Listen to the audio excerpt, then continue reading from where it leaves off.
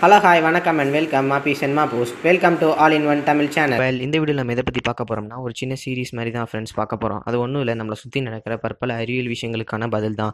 அன்றாட வாழ்க்கையில் இருந்துச்சு காலைல எழுந்துச்சு ஸ்கூலுக்கு போய் பற்பல அறிவியல் விஷயங்களை பற்றி கற்றுக்கணும் உதாரணத்துக்கு ஹார்ட் பிரெயின் போன்ற பற்பல விஷயங்களை பற்றி கற்றுக்கணும் என்னதான் நம்ம இவ்வளோ விஷயங்களை கற்றுக்கிட்டாலும் அதில் மாஸ்டராகவே இருந்தாலும் நம்மளை சுற்றி நடக்கிற சின்ன சின்ன அறிவியல் விஷயங்களுக்கு நம்மளுக்கு பதில் தெரியறதில்ல. உதாரணத்துக்கு நைட்டு நேரங்களில் பூச்சி எல்லாம் கத்துது. அது ஏன் கத்துது அப்படின்னு கேட்டால் அதுக்கான பதில் நம்மக்கிட்ட இல்லை. ஆனால் பண்டைய தமிழர்கள் அப்படி இல்லை. நம்மளை சுற்றி நடக்கிற பற்பல அறிவியல் விஷயங்களுக்கான பதிலை அவங்க நல்லாவே தெரிஞ்சு வச்சுருந்தாங்க. அதனால தான் இல் வாழ்க்கையிலையும் சரி அற வாழ்க்கையிலையும் சரி நல்லவர்களாகவும் அறிவு மிக்கவர்களாகவும் அவங்க இருந்தாங்க. ஸோ இந்த வீடியோவில் நம்ம சுற்றி நடக்கிற சின்ன சின்ன அறிவியல் விஷயங்களை பற்றி தான் பார்க்க போகிறோம் அதனால இந்த சீரீஸ்க்கு நாம் அறிவியல் ஆயிரம்னே பேர் வச்சிடலாம். ஸோ வாங்க ஃப்ரெண்ட்ஸ் வீடியோக்குள்ளே போகலாம் ஸோ இந்த சீரீஸோட ஃபஸ்ட் வீடியோ எதை பற்றின்னு பார்த்தீங்கன்னா தூக்கம். அதாவது பூச்சிகளின் தூக்கத்தை பற்றி தான் ஃப்ரெண்ட்ஸ் தூக்கம் என்னோட அன்றாட வாழ்க்கையில் பிரிக்க முடியாத ஒரு விஷயம். நைட்டு நல்லா தூங்கினா தான் காலைல எழுந்து ஃப்ரெஷ்ஷாக ஸ்கூலுக்கோ இல்லை ஆஃபீஸ்க்கோ போக முடியும். அப்படி பார்த்தீங்கன்னா பூச்சிகளும் நிறைய வேலைகள் செய்யுது பற்பல வேலைகளை செய்கின்ற இந்த பூச்சிகளுக்கு ஓய்வு தேவையா? அப்படி ஓய்வு எடுக்கலைன்னா இந்த பூச்சிகளுக்கு எங்கேருந்து எனர்ஜி வரும்? உண்மையிலே பூச்சி தூங்குதா? தூங்கலையா? அப்படின்றத இந்த வீடியோவில் நம்ம பார்க்க போகிறோம் ஃப்ரெண்ட்ஸ் ஸோ முதல்ல பூச்சிகள் எல்லாம் தூங்குமா? அப்படின்ட்டு கேள்விக்கு என்ன விடைன்னு பார்த்தீங்கன்னா ஆமாம் ஃப்ரெண்ட்ஸ் பூச்சிகள் எல்லாமே தூங்கும். பூச்சிகள் மைக்ரோப்ஸ் பிளான்ஸ் மாதிரி கிடையாது. அதுக்கிட்டே சென்ட்ரல் நர்வஸ் சிஸ்டம் இருக்குது அதாவது மூளை இருக்குது இந்த மூளை தான் ஃப்ரெண்ட்ஸ் எல்லா நர்வஸ் சிஸ்டமுக்குமே கண்ட்ரோல் அது மட்டும் இல்லாமல் தூக்கமும் இந்த மூளை தான் இனிஷியேட் பண்ணுது.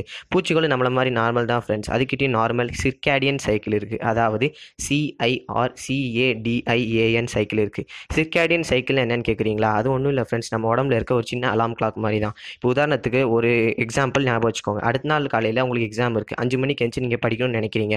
கரெக்டாக அஞ்சு மணிக்கு எஞ்சி படிச்சிருங்க அது ஏன்னு சொல்லுங்கள் ஏன்னா அது உங்கள் மூளையில் ஆழமாக பதியுது. பூச்சிகளுக்கும் இதே மாதிரி சிர்காடியன் சைக்கிள் இருக்கனால அது கரெக்டாக தூங்கி கரெக்டாக முழிச்சுக்கிறது. ஒரு ஒரு பூச்சியுமே வித்தியாசமாக தூங்குமா ஃப்ரெண்ட்ஸ் சில பூச்சிகள் நைட்டு நேரங்களில் முழிச்சிருந்து காலை நேரங்களில் தூங்குமா ஃப்ரெண்ட்ஸ் உதாரணத்துக்கு கட் வார்ம்ஸ் அப்படின்ற புழுக்கள் எடுத்துக்கிட்டிங்கன்னா அது நைட்டு நேரங்களில் சுற்றி இருக்க இலை தலைகள் எல்லாத்தையும் சாப்பிட்டுட்டு காலை நேரத்தில் பறவைக்கிட்டேருந்து தப்பிக்கிறதுக்காக ஒரு ஓரமாக படுத்து நல்லா தூங்குமா ஃப்ரெண்ட்ஸ் ஏன்? மூட்டைப்பூச்சி எடுத்துக்கோங்களேன். அது நைட்டு நேரங்களில் தான் முழிச்சிருக்கும் காலை நேரத்தில் போய் நல்லா தூங்கும் ஏன்னா நைட்டு நேரத்தில் நாம தூங்குவோம். அப்போ தான் அதால் நம்மளோட ரத்தத்தை உரிய முடியும் ஃப்ரெண்ட்ஸ் ஆனால் சில பூச்சிங்க மனுஷங்க மாதிரி காலையில் நேரத்தில் முழிச்சிருந்து நைட்டு நேரம் தூங்குமா ஃப்ரெண்ட்ஸ் உதாரணத்துக்கு தேனி எடுத்துக்கோங்களேன். இது பூக்களில் போய் காலையில் நேரத்தில் குடிச்சிட்டு அடுத்த நைட்டு வந்து தன்னோட வீட்டில் போய் நல்லா படுத்து தூங்குமா ஃப்ரெண்ட்ஸ் வந்து நம்மளுக்கு என்ன தெரியுதுன்னா ஒரு பூச்சி தன்னோட உணவு அல்லது ஆபத்து அதுக்கேற்ற மாதிரி தன்னோட சிர்காடியன் சைக்கிளை மாற்றிக்கிற அளவுக்கு திறமை இருக்குது அப்படின்றது தான் ஃப்ரெண்ட்ஸ் உண்மையிலே பூச்சிங்கள்லாம் தூங்குதா அப்படின்னு டெஸ்ட் பண்ணுறதுக்காக தான் ஒரு science research group from California and Pennsylvania ஒரு எக்ஸ்பெரிமெண்ட்டை கண்டக்ட் பண்ணாங்க. அந்த எக்ஸ்பெரிமெண்ட்டின் படி ரெண்டு கண்டெய்னர்ஸ் எடுத்துக்கிட்டாங்க. ரெண்டு கண்டெய்னர்ஸ்லையுமே பூச்சியை போட்டு நிரப்புனாங்க. ஒரு கண்டெய்னரில் இருக்க பூச்சி எல்லாத்தையுமே நைட்டு நேரங்களில் தூங்க வச்சாங்க. ஆனால் இன்னொரு கண்டெய்னரில் இருக்க பூச்சியை நைட்டு நேரம் தூங்க விடாமல் அதை தட்டிக்கிட்டே இருந்தாங்க. அடுத்த நாள் காலையில் அவங்க என்ன இன்ஃபர் பண்ணாங்கன்னா நைட் நேரங்களில் தூங்க விட்ட பூச்சிகள் எல்லாமே எழுந்து எனர்ஜெட்டிக்காக தன்னோட வேலையை செய்வதற்காக கண்டெய்னரில் அங்கேயும் இங்கேயும் ஓடிக்கிட்டே இருந்துச்சான் ஆனால் நைட்டு நேரம் தூங்காமல் தட்டிக்கிட்டே இருந்தாங்கல்ல அந்த பூச்சிகள் எல்லாம் காலை நேரத்தில் தூங்கிருச்சான் இதிலிருந்து சயின்டிஸ்ட் என்ன இன்ஃபர் பண்ணாங்கன்னா தன்னோட சூழலுக்கு ஏற்ற மாதிரியும் பூச்சிகளெல்லாம் தங்களோட சிர்கேடியன் சைக்கிளை மாத்திர திறமை அதுக்கிட்ட இருக்குது இந்த மாதிரி பூச்சிங்க டீப் ஸ்லீப் செய்கிறத டார்பார் அப்படின்னு சொல்கிறாங்க அதாவது டிஓஆர் பிஓஆர் அப்படின்னு சொல்கிறாங்க இந்த மாதிரி டார்பார் செய்வதனால பூச்சிங்களால் தங்களோட எக்ஸ்ட்ரீம் கண்டிஷன்ஸை ஓவர் கம் பண்ண முடியுது. உதாரணத்துக்கு மில்லிபீட் அதாவது ரயில் பூச்சி எடுத்துக்கிட்டிங்கன்னா அதை நீங்கள் தொட்ட உடனே அது பால் மாதிரி தன்னைத்தானே சுருண்டுக்கிறோம் அப்போ அதுக்கு ஏற்பட்ட ஸ்ட்ரெஸ்ஸையும் மன உளைச்சலையும் வீடு கட்டுறதுக்காக அது நல்லா தூங்குமா ஃப்ரெண்ட்ஸ் அதே மாதிரி நியூசிலாண்டில் வீட்டா அப்படின்னு சொல்லப்படுற ஒரு பூச்சி இருக்குது இந்த பூச்சி என்ன செய்யும்னா எக்ஸ்பெஷலி வின்டர் டைமில் தன்னோட குளிரை தாங்க முடியாமல் ஒரு ஓரமாக படுத்து நல்லா தூங்குமா ஃப்ரெண்ட்ஸ் அந்த குளிரில் அந்த பூச்சி உறைஞ்சே போயிருமா. ஆனால் அடுத்த நாள் காலையில் சூரியன் உதயமான உடனே அந்த பனி எல்லாம் மெல்ட் ஆன உடனே இந்த பூச்சி திரும்பவும் சுயநலத்துக்கு வந்து தன்னோட வேலையை செய்யுமா ஃப்ரெண்ட்ஸ் சரி நியூசிலாண்டுக்குலாம் போக நம்ம இந்தியாவிலே இருப்போம். இந்தியாவில் அதிகமாக இருக்க பூச்சி என்னன்னு பார்த்தீங்கன்னா காக்ரோச் தான். இந்த காக்ரோச் எல்லாம் நைட்டு நேரங்களில் முழிச்சிருக்கும். ஆனால் காலை நேரத்தில் ஓரமாக போய் படுத்து நல்லா தூங்குமா ஃப்ரெண்ட்ஸ் காக்ரோச்சை பார்த்து பயப்படாத ஆட்களே கிடையாது. இந்த காக்ரோச்லாம் நைட் நேரங்களில் தான் வெளியே வரும். ஏன்னா காலை நேரத்தில் அதில் வெளியே வர முடியாது.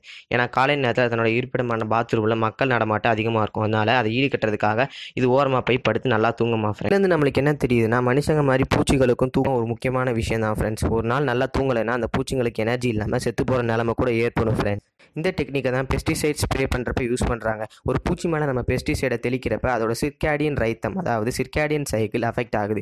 அப்போ அந்த பூச்சியால் சரியாக தூங்க முடியாதனால தன்னோட மெட்டபாலிசம் அதாவது தன்னோட உடம்புக்குள்ளே நடக்கிற கெமிக்கல் ரியாக்ஷன் அஃபெக்ட் ஆகி கடைசியில் சாகிற நிலைமை ஏற்படுது. இந்த மாதிரி செய்கிறதுனால தான் பூச்சிகள் எல்லாம் செத்து கிராப்ஸ் எல்லாம் நல்லா வளருது ஃப்ரெண்ட்ஸ் ஸோ இந்த வீடியோ மூலமாக பூச்சிகளும் தூங்கும் அப்படின்றத பற்றி நீங்கள் தெரிஞ்சிருப்பீங்கன்னு நான் நினைக்கிறேன். அந்த நம்மளோட அறிவியல் ஆகிற சீரிஸோட அடுத்த எபிசோடு எதை பற்றின்றதை நான் டிசைட் பண்ணிட்டேன். ஆனால் அதுக்கான இன்ஃபர்மேஷன்ஸை நான் கொடுக்கறதுக்கு முன்னாடி நீங்கள் கொடுத்தா நல்லா இருக்கும் அப்படின்னு நான் நினைக்கிறேன்.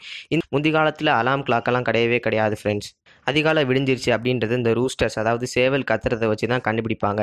இந்த சேவல்களால் எப்படி நேரத்தை கணிக்க முடியுது அப்படின்றத பற்றி நீங்கள் இன்டர்நெட்டில் சர்ச் பண்ணியோ இல்லை லைப்ரரியில் புக்ஸ் எல்லாம் புரட்டி பார்த்தோ ஆன்சரை கண்டுபிடிச்சி கமெண்ட் செக்ஷனில் லீவ் பண்ணுங்கள் ஃப்ரெண்ட்ஸ் வீடியோ உங்களுக்கு பிடிச்சிருந்தா லைக் ஷேர் அண்ட் கமெண்ட் பண்ணுங்கள் நம்மளக்காம ஆல் இன் ஒன் தமிழ் சேனலுக்கு சப்ஸ்கிரைப் பண்ணுங்கள் அப்புறம் அந்த பெல் ஐக்கானை டிங் பண்ணிடுங்க மற்றொரு சுவாரஸ்யமான வீடியோ உங்களை பார்க்க வரைக்கும்.